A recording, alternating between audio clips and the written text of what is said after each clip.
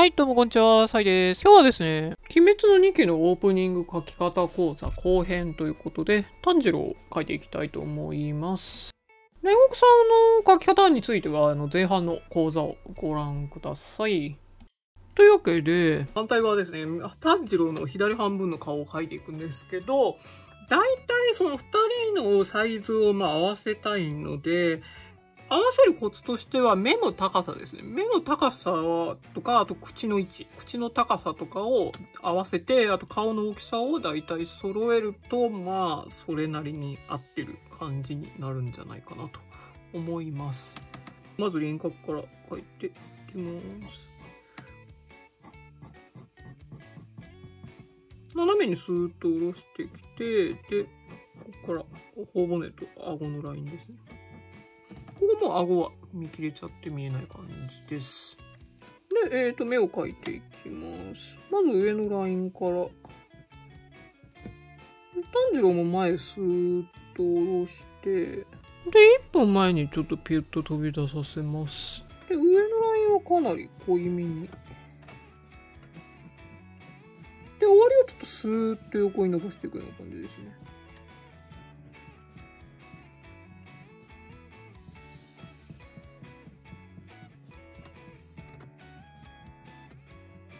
で、終わりも一本ちょっとピュッと飛び出させます。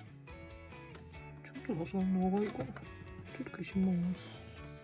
で、瞳の丸を描いていくんですけど、炭治郎はかなり丸と言いつつ、角、角と、ちょっとカクカクさせつつですね。角、角、角、角、完全に丸に書いちゃうとあんまり炭治郎っぽくなくなっちゃうと思います。で、中心に白のハイライト部分ですね。カク、カク、カク、カク。これもカクカクさせつつ。で、えっ、ー、と、ここを中心にここから集中線ですね。あの漫画のを引くような感じで、こうちょっとタッチを広げていきます。あの、炭治郎の目の描き方は、あの、炭治郎の目の描き方講座もやってるので、よかったらそっちも合わせて見てみてください。で、ここちょっともうタッチ入れておきます。綺麗に塗りたい人はちゃんと綺麗に塗っていいですよ。で、このハイライトの部分から斜めにスーッと降りていったとこ、この辺りですね。この辺りをめがけて下のラインを描いていきます。上のラインからちょっと下がったところぐらいですね。で、ここからクッて上、こっちに向かって、あの、上のラインに向かって上げていきます。で、ここのクッてなってるとこだけちょっと濃い。ラインを濃くします。で、えっ、ー、と、瞳のライン、下のラインを二重にします。で、えっ、ー、と、二重のラインですね。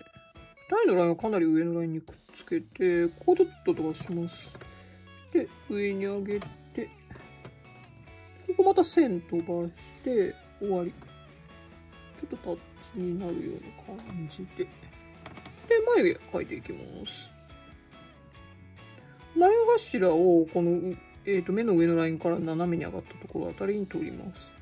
で、ここ斜めに取って、ぐーんと上げていって、この瞳の終わりぐらいのところまで上げていきます。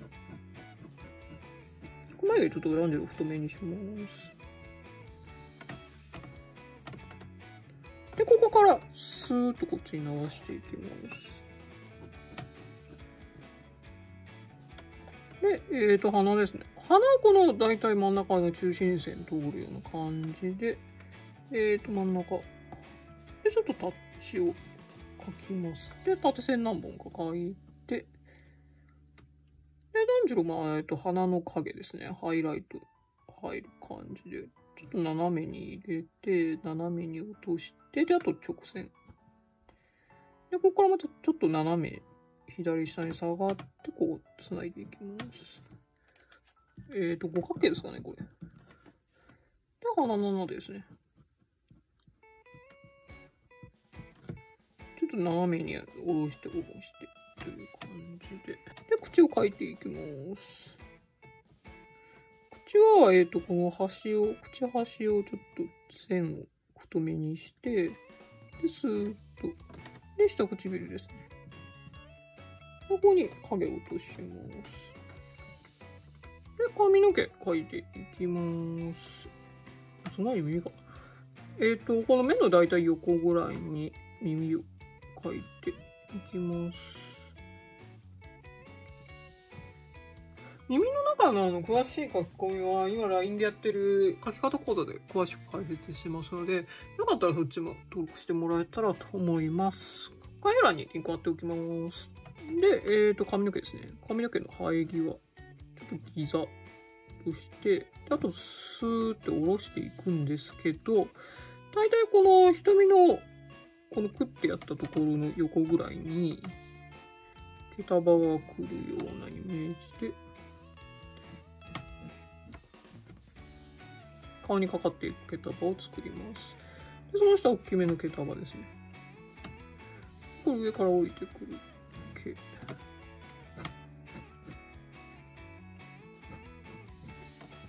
このかあの髪の毛とか重なってるところも消しちゃいます。輪郭。で、えっ、と、ここで耳飾り先に描いておきます。丸描いて線ピーッと引っ張っていって、で、長方形描きます。傾きがつくので、ちょっと、えっ、と、平行四辺形みたいな感じですね。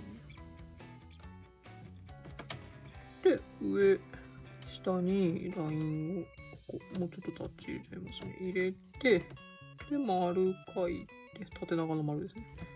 で、半月書いて、まず真ん中にピーと線を下ろして、で、1、2、3、4、5。で、また左右対称になるように、1、2、3、4、5と。ここの丸を塗っちゃいます。ここ丸もで、えー、と、先に首描くんですけど、首は、えー、と、ここのエラのところから、ちょっと触ったところぐらいから出ていきます。で、大福ですね。大福の立ち襟を描きます。でライン二重になって、で、羽織がちょっ。首ちょっとタッチ入れておきましょう。で、髪の毛はこの一番上のてっぺんのところからいきます。大きく外にギューンと外を跳ねさせて、で、もう一丁。今度内跳ね。また外跳ね。で、この耳の横ぐらいで、内跳ね。で、逆に外跳ね。で、内跳ね。で、もうちょっとここ、繋がってるけど書かないですけど、繋がってます。で、こう、内跳ね。で、首のところあたりまで。で、最後に煉獄さんの眉毛と炭治郎の髪の毛とか、タッチ入れておきます。あと財布もちょろっと入れておきます。炭治郎の髪の毛。